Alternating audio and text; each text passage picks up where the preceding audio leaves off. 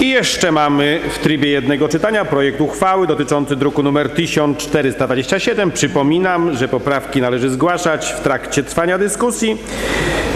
Zmiana dotyczy, uchwała dotyczy zmiany uchwały nr 21 łamane przez 258 łamane przez 11 w sprawie ustalenia wysokości opłat za świadczenia publicznych przedszkoli i oddziałów przedszkolnych w szkołach podstawowych prowadzonych przez gminę miejską Kraków z późniejszymi zmianami. Projekt prezydenta miasta Krakowa, druk nr 1427, referuje pani dyrektor Anna Korfel-Jasińska. Panie Przewodniczący, Pani Prezydent, Wysoka Rado. E, W wyniku zmiany ustawy o systemie oświaty m, e, został, e, została uregulowana w ustawie kwota opłat za przedszkola w takim rozumieniu, że nie może ona przekraczać złotówki za godzinę poza ten bezpłatny czas, e, który jest określony uchwałą Rady Gminy. E, Ten bezpłatny czas dla rodzica w przedszkolach samorządowych wynosi 5 godzin dziennie, natomiast pozostały, pozostały czas pobytu dziecka nie może, e, nie może być dla rodzica droższy niż złotówka. Propozycja zawiera właśnie taką kwotę, złotówka za godzinę. E, i przy obliczeniach w uzasadnieniu też e, wyjaśniam, została, e, została ta kwota wyliczona czy porównana, biorąc pod uwagę dotacje na konkretne dziecko, na jedno dziecko. Ta dotacja, przypomnę, wynosi 103 zł 50 groszy miesięcznie.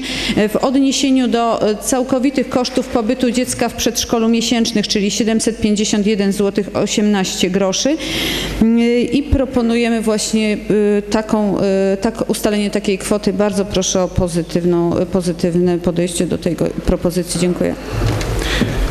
Proszę Państwa, w trybie statutowym nie zgłoszono żadnej autopoprawki. Komisja Edukacji wyraziła w tej kwestii pozytywną opinię. Czy są stanowiska innych komisji? Nie widzę. Stanowiska klubu radnych nie widzę. Otwieram dyskusję. Kto z Państwa radnych chciałby w tym punkcie zabrać głos? Proszę bardzo, Pani Radna Patena. Pani Przewodnicząca Komisji Edukacji. Tak, wiem. Proszę, tak, tak, tak. tak. Tutaj, y, Szanowni Państwo, y, z projektem uchwały oczywiście się zgadzamy, y, ponieważ jest on konsekwencją tego, co zostało y, i tym mogę, tak? Tego, co zostało zaproponowane przez rząd Platformy Obywatelskiej i uchwalone przez Sejm.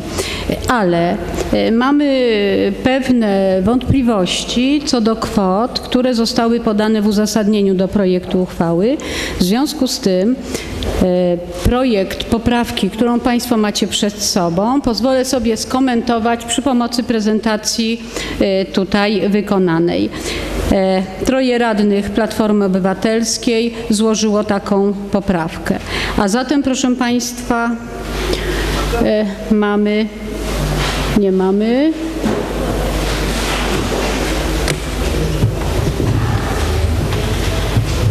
Jest. A zatem y, kolejno te slajdy będą odnosiły się do y, propozycji punktów w poprawce do projektu uchwały 1427. I tak, w przypadku mamy w uzasadnieniu do projektu uchwały akapit, że w przypadku podjęcia przez rodziców i tak dalej, to jest akapit czwarty, szkoda w tej chwili czytać. Ważne są kwoty, że 145 etatów będzie potrzebnych, na co gmina proponuje wydać 9 milionów, a te 145 etatów tylko w przypadku wtedy, kiedy rodzice będą chcieli zostawiać dzieci dwie godziny dłużej, ponad te, które teraz zostawiają, a średnio w Krakowie dzieci są przez 8 godzin w przedszkolu, czyli 3 godziny ponad te godziny bezpłatne. I do tego akapitu mamy takie wyliczenia. Wyliczenia są następujące. Jeżeli 9 kwotę 9 milionów podzielimy przez 145 etatów i przez 12 miesięcy, to dostajemy kwotę brutto etatu 5172 zł brutto miesięcznie. Myślę, że mało jest na tej sali Państwa, którzy taką kwotę brutto zarabiają, a dużo jest takich, którzy taką kwotę chcieliby zarabiać. Czy akurat każda przedszkolanka w Krakowie taką kwotę zarabia? Jest to dla mnie no, wątpliwe. Jeżeli zaglądniemy na stronę internetową pod tytułem Ile zarabiają nauczyciele przedszkoli w Polsce, to, to można zobaczyć taki wykresik, który porównuje najniższe zarobki, które są poniżej 1400 z najwyższymi 3200, mediana jest 2200 i proponujemy do wyliczeń wziąć właśnie taką kwotę, bo aby otrzymać kwotę brutto 5172, wtedy nauczyciel musiałby być w tym zielonym pasku i być w grupie 10% najwięcej zarabiających, a to w przypadku rozmów moich z dyrektorami dotyczyłoby dyrektorów, czyli w Krakowie te dwie godziny musieliby obsługiwać dyrektorzy placówek, którzy mają dodatek funkcyjny i dodatek motywacyjny. Stąd, jeżeli weźmiemy kwotę taką, jaką można znaleźć na stronie internetowej, że średnie wynagrodzenie w Polsce jest 2200 brutto, po stronie pracodawcy to jest koszt 2650, 145 razy 2650 i 12 e, miesięcy daje nam kwotę 4611, a nie kwotę 9 milionów na TET. 4 miliony 611 tysięcy, dziękuję pani radnej, złotych, a nie 9 milionów. I stąd jest ta pierwsza poprawka, że w akapicie czwartym w ostatnim zdaniu kwotę około 9 milionów zmienia się na kwotę około 4 miliony 611, bo średnia, średnie wynagrodzenie jest inne. Proponuje się także e, dodać i dalej mamy ten sam akapit, do którego się odnosimy, ale teraz pytanie, co z pieniędzmi, które rodzice zapłacą za te dwie godziny dodatkowo? Jeżeli mamy w szkołach samorządowych 18 960 w przedszkolach, przepraszam, w przedszkolach samorządowych 18 096 uczniów, razy dwie godziny, razy 22 dni, bo taka jest średnia i razy 12 miesięcy, daje to nam kwotę 9 milionów 554, a zatem rodzice za te dwie godziny, które nam się wydaje, że będą dzieci przetrzymywać, będą dzieci zostawiać w przedszkolu, nie przetrzymywać, złe słowo wycofuję, odjąć 4600 na te etaty, to daje nam różnicę około 5 milionów złotych. A zatem chcielibyśmy, aby rodzice zostawiali dzieci przez 10 godzin dziennie. Następna, następna zmiana, czyli proponujemy tutaj jeszcze w stosunku do poprzedniego, że w akapicie czwartym dodaje się zdanie opłaty rodziców za te dwie dodatkowe godziny, czyli łącznie 10 godzin w przedszkolu będą wynosić te dodatkowe 9 milionów 554 tysiące. Następna poprawka wynika z tego, że mamy akapit piąty, który mówi, że obniżenie wysokości opłat będzie wynosiło 14 milionów. To obniżenie zostało skromnie mówiąc niedoszacowane, ponieważ rodzice nie będą nie płacili 14 milionów, tylko nie będą płacili 21 milionów, proszę Państwa, bo 18 tysięcy dzieci razy półtorej złotówki za godzinę, razy 3 godziny, razy 22 dni, razy 12 miesięcy daje 21 milionów, a nie 14 milionów. Stąd propozycja tej poprawki, aby zmienić kwotę około 14 milionów na kwotę około 21 milionów 498 tysięcy 232 zł. Następne mamy wyliczenie, a mianowicie dotacja. Dotacja, jaka będzie przychodziła z rządu jest już w tej chwili w ustawie. Jest to kwota na rok 2014 1242 zł. Jeżeli przyjmiemy tą liczbę dzieci 18 096, to daje to nam kwotę 22 miliony 475 tysięcy, a nie tak jak jest podane w uzasadnieniu około 20 milionów. To przybliżenie do dziesiątków milionów wydaje się tutaj nieuprawnione, bo kwota 2 miliony, prawie 2,5 miliona jest istotną. Stąd mamy popra propozycję poprawki w akapicie szóstym. Na jego końcu około 20 milionów zamienia się na około 22 miliony 475 tysięcy. Następna sprawa. Proszę Państwa, dalej jeżeli mamy do tego, do tego y, akapitu siódmego i teraz co się okazuje? Jeżeli te kwoty wcześniej wyliczane dodamy, mamy tak, te 22 22 miliony to jest kwota dotacji na dzieci samorządowe. 21 milionów tyle, ile dzieci nie będą płacić, to jest 977 tysięcy. Więcej dotacji jest. Później mamy 9554 ty, 9 milionów, tyle ile rodzice zapłacą za 9 i 10 godzinę. Odjąć koszt etatów średnich, to jest 4 miliony 943. Jeżeli te kwoty dodamy, dostajemy 5 milionów 920.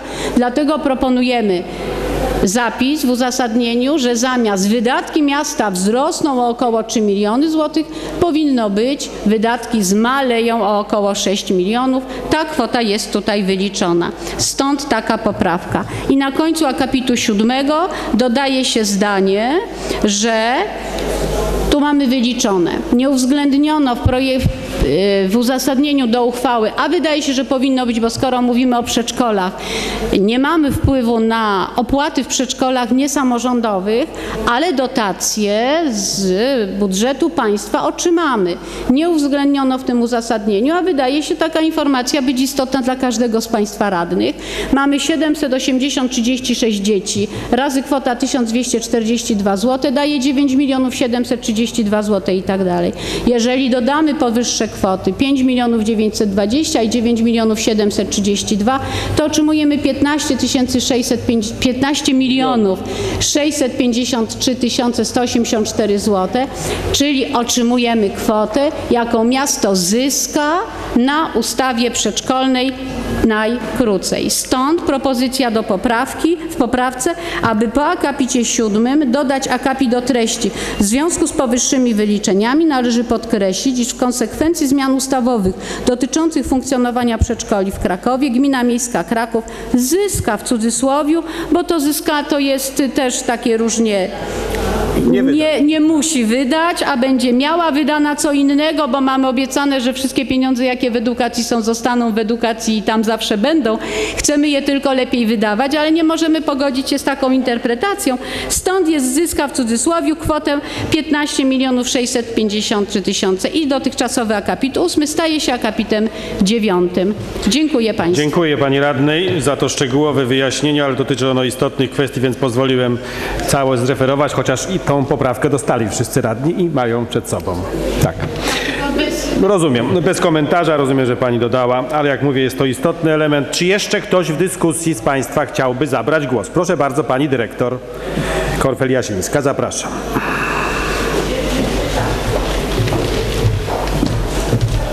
Panie Przewodniczący, e, Szanowni Państwo Prezydenci, e, Szanowni Państwo Radni. E, Jak już zaznaczyłam wcześniej, nie, nie moją w ogóle intencją jest polemizowanie tutaj z przedstawionymi wyliczeniami, natomiast jak Państwu zaznaczyłam wcześniej, przedstawiając uzasadnienie wychodziliśmy Od y, kosztów pojedynczego dziecka i od tego, jakie są relacje w tych kosztach i jakie będą, y, które, y, które dotyczą i opłat ponoszonych przez rodzica od września i dotacji, która jest liczona na to dziecko. Dotacja globalnie, która jest przekazywana, czy będzie przekazana dla gminy miejskiej Kraków, jest liczona w oparciu o dane systemu informacji oświatowej z ubiegłego roku, dokładnie z września ubiegłego roku. Liczona jest, ta dotacja jest liczona, czy w niej uwzględniane są dzieci zarówno w przedszkolach samorządowych i niesamorządowych, jeżeli mówimy o tej kwocie blisko y, 11 milionów złotych. Natomiast zaznaczam, że w całości tą dotację musimy rozliczyć, czyli nie rozliczyć ją tylko i wyłącznie na dzieci w przedszkolach samorządowych, ale również dzieci w przedszkolach niesamorządowych. Stąd przedstawione y, kwoty do uzasadnienia y, brały pod uwagę wyliczenia brane na dzieci w przedszkolach y, tylko i wyłącznie samorządowych, a nie, a nie niesamorządowych, ponieważ to tak jak mówię, to musimy i tak wyliczyć, biorąc jeszcze pod uwagę fakt, że od września y, tego roku około półtora tysiąca miejsc zostało zgłoszonych więcej w przedszkolach, więc najprawdopodobniej y, będzie też y, więcej dzieci w przedszkolach niesamorządowych do dotowania. I jeszcze jedna kwestia, kwestia wynagrodzenia, proszę Państwa. Ja też nie będę polemizować i nie kwestionuję, jeżeli chodzi o, o dane dotyczące wynagrodzeń zasadniczych, natomiast w uzasadnieniu zaznaczyłam, że są to wynagrodzenia łącznie z pochodnymi, to raz, a poza tym Państwo pamiętacie o y, y, o wynagrodzeniach średnich, jakie muszą być y, osiągane na poszczególnych stopniach awansu zawodowego. Jeżeli gmina nie zapewnia tych średnich, musi wypłacać wyrównanie na, dla poszczególnych grup awansowych nauczycieli.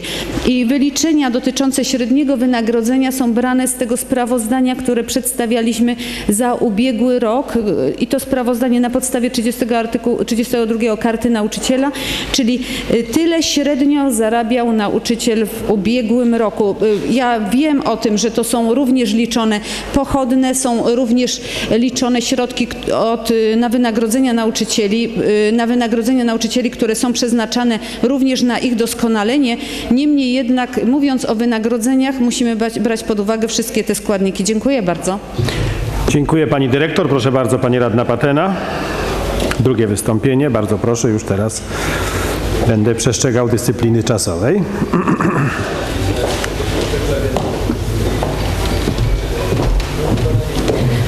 Pani dyrektor, nie można mówić, że nauczyciel dużo zarabia, a jednocześnie obcinać dyrektorom przedszkoli tak ich środki finansowe, żeby zatrudniali nauczycieli najtańszych. Z tego co wiem, nauczyciele, którzy stracili pracę, Mamy takie przedszkola, które rozwiązaliśmy, a wcześniej zrobili dyplomowanie. Teraz mają większy jeszcze problem ze znalezieniem pracy, bo są za drodzy. Dyrektorzy przedszkoli chcą przyjmować tanich nauczycieli, czyli nauczycieli, którzy nie mają tak dużego awansu zawodowego i zatrudniać ich na mniejsze pensje. W związku z tym tu jest zderzenie takich dwóch pojęć. Dlatego ja osobiście i moje koleżeństwo nie możemy się pogodzić z tym, że z jednej strony gmina proponuje rozliczanie największej pensji, prawda, dla bardzo, którą, mają, którą ma bardzo wąska grupa zawodowa, a jednocześnie każe dyrektorom tak obcinać finanse placówki i plan finansowy, żeby ich nie było stać na tych nauczycieli i muszą zatrudniać tańszych. To jest jedno. A teraz dwa. E, Nie byłoby pewnie całego czytania tego uzasadnienia, gdyby nie wypowiedzi w prasie, wypowiedzi, z którymi, no jak pokazała prezentacja, nie możemy się pogodzić. A wypowiedź ta była taka, czeka ze względu na tą y, ustawę przedszkolną. Cytuję: Czeka nas paraliż miejskich finansów. Pieniądze, za które moglibyśmy rozwijać Kraków, pójdą na oświatę, która już teraz pożera jedną trzecią budżetu.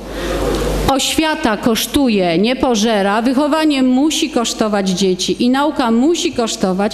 I tak jak kosztuje rodziców, tak kosztuje też miasto. I dlatego ośmieliliśmy się zrobić tą poprawkę do tego uzasadnienia, aby z tego uzasadnienia nie wynikało, bo nie może wynikać to pożeranie finansów miejskich. Dziękuję. Dziękuję za utrzymanie się w czasie. Czy jeszcze ktoś zabrać? Proszę bardzo, pani radna Barbara Nowak, zapraszam.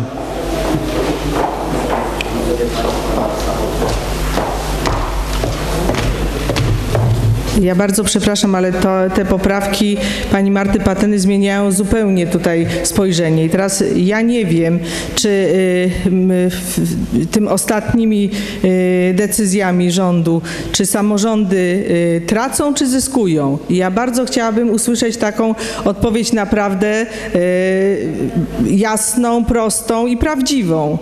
Tracą czy, czy też zyskują? Bo y, y, z mojego takiego prostego oglądu to wygląda na to jednak, że y, koszty powinny ponosić w tej chwili większe samorządy. Jeżeli się mylę, a z tych obliczeń wy, wynika, że się mylę, to proszę mi to tak wyjaśnić, żebym ja naprawdę wiedziała o co chodzi. Dziękuję. No, dopuszczam panią radną, wnioskodawczynię projektu, no bo w tym momencie zadane zostało pytanie. Proszę o w miarę syntetyczną odpowiedź. Pani radna, trochę, y, pro, znaczy nie problem, ale y, pewne wyjaśnienia można wziąć z faktu, ile kosztowała godzina dziecka w przedszkolu przed ustawą przedszkolną. Jeżeli kosztowała tak jak u nas 2,50, a ma kosztować złotówkę, to tylko złoty 50 nie będzie wpływało do gminy za każdą godzinę. I akurat my mieścimy się w tych 103,50 zł, co powiedziała pani dyrektor, to jest akurat na tą średnią do 8 godzin, czyli 5 bezpłatnych i